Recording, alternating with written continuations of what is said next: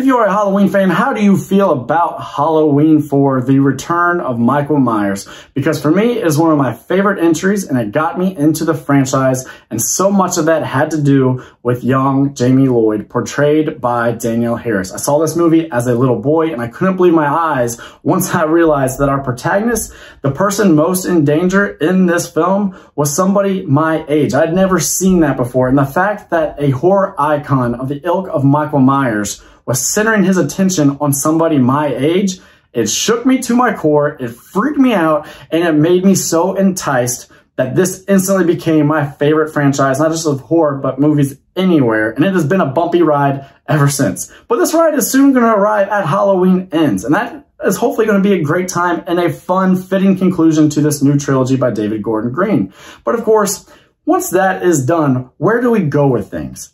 Now, we can't just end things. I think we know that because Michael Myers is essentially a modern day Frankenstein or Dracula or the Wolfman. He is like a modern universal monster and he's what we come to the movies for. When you think horror, you think Michael Myers, at least most people do. So he can't just be phased out and disappear for forever. The fans want more. They need more Halloween. What do we do then? Because we can't just do another remake. We can't just have another entry called Halloween you know, we got Halloween 1978. We got Rob Zombie's Halloween. We got Halloween 2018. And now we'll have Halloween 2026. That is so blah. That's so passe. We're past that. We can't just do that. And we can't just do a remake of the same old story. We need to do something bold and fun and maybe continue a story that there's still something to do a little something, something with. I'm talking about the story of Jamie Lloyd, and I'm talking about Danielle Harris, who does a podcast with her co-star, Scout Taylor Compton. I'm, of course, referring to the Rob Zombie movies.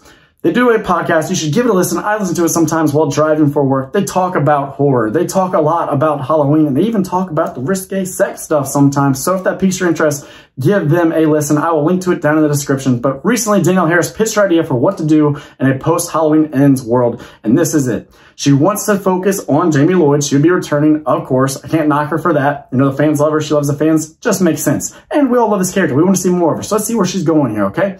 So Jamie Lloyd is now living in Chicago. She has a family. She's got a husband and two children. And she's done some work on herself. Either she's gone to therapy and worked past her demons and her terrifying past, or she has straight up repressed it. A little bit like, you know, Halloween H2O, but maybe even worse. Maybe she doesn't even talk about it. Maybe she doesn't acknowledge what happened and she's living kind of a lie. Her husband doesn't even know about her past. And she's content to live that way until she starts to see some weird things going on with her daughter because you have to think about it. In Halloween 4, she finds out that Michael Myers is her uncle and he comes for her.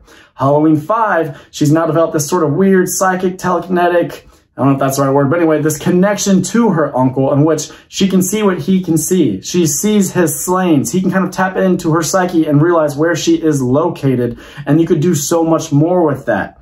Now, because that's been encoded in her DNA, she's passed it to her daughter who may be having some sort of visions or nightmares. Again, think about Halloween 4 the Jamie's nightmare scene where you see Michael sit up, you know, that flash of lightning, it looks great. They know it looks great. That's why they always put it on the commercials on AMC's Fear Fest, because they know you see that, you're going to check that movie out. It's one of my favorite little stills in the entire franchise. So you could do a nice nightmare with this young daughter or even a grown up Jamie Lloyd. I think that would be great. That's what I'm saying. We could kind of tap back into what worked, but make it new and revitalized for modern audiences. And I love this relationship to where the husband's going to be concerned and his mind is going to be blown when he finds out what's going on with his wife, Jamie. And then Jamie, she thought she was doing the best she could. She was trying to care for her daughter and her family by just trying to strip them of to ever worrying about this and their relation to the boogeyman, this notorious, infamous killer. But now, she can't, she can't ignore it anymore. Something has to be done, especially because she knows through that connection, if her daughter is seeing these things, it's not just that her daughter is troubled. It's likely that Michael Myers is back in some capacity, or at least the evil that kind of possessed Michael Myers or surrounded Michael Myers, surrounded this shape. It may now be imbued into the daughter, maybe imbued to her. Who knows? But you could see something happen to where Michael Myers now knows their location and comes to them in Chicago. Michael Myers in Chicago. Don't know how I feel about that. That could be great. That could be fantastic. I do love the idea of creating up uh, like a plot to where he doesn't have to be confined in Haddonfield. He can be in another town nearby, or he can come all the way to Chicago for all I care. You could do something neat with that. It doesn't have to be bad, you cynics. But what I don't love about her idea is she says she wants to bring Laurie Strode, Jamie Lee Curtis back into the fold. She wants her to be like, you know what? I have to face this head on. I know my mom faked her death and I was put up for adoption and they changed my name and this and that. But I need to go get her. I need to have her counsel and we need to take on the boogeyman ourselves. That's kind of the Danielle Harris idea. That's the only part of it I don't like because Halloween Ends is to be Jamie Lee Curtis's last hurrah. And I'm, I'm good with that. She's had a ton of entries to date.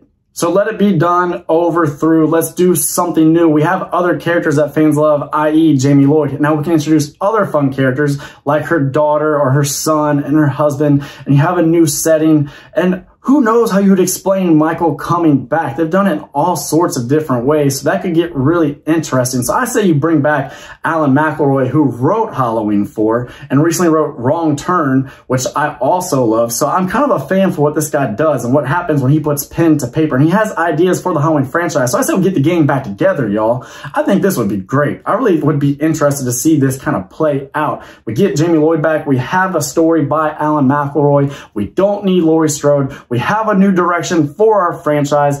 The only problem to me is can you get the mass audience intrigued? Can you get them up to speed? At first I was like, I don't think you can. How do you talk about maybe retconning Halloween 6 and everything then after? How do you get a bunch of commoners, commoners, that sounds so insulting. How do you get the common fan or somebody who's coming to the first Halloween movie to get on board with something that's like, yeah, this is about the first four or five entries, but not everything that came after. And I was like, I, I don't think you can do that. But Maybe you could. Maybe you market this film, you dice up a bunch of different little moments from Halloween 4 and Halloween 5, you montage them, you flash them like they used to do in the 80s. You used to like think like the opening of a Friday the 13th movie. You'd always get a little montage. So if you were coming into Halloween 7, or sorry, Halloween, Friday the 13th 7, and you hadn't seen other entries, you could really quick get up to speed and be like, okay, okay, I've seen some of the highlights. I've seen the kills. I know what characters are around here and I know what's going on with Jason. You could do that with Michael Myers and I think it would work. I think a lot of people give horror a pass in a lot of ways when it comes to things like plot and character. So you use that, and they're going to give you a little wiggle room. You take that inch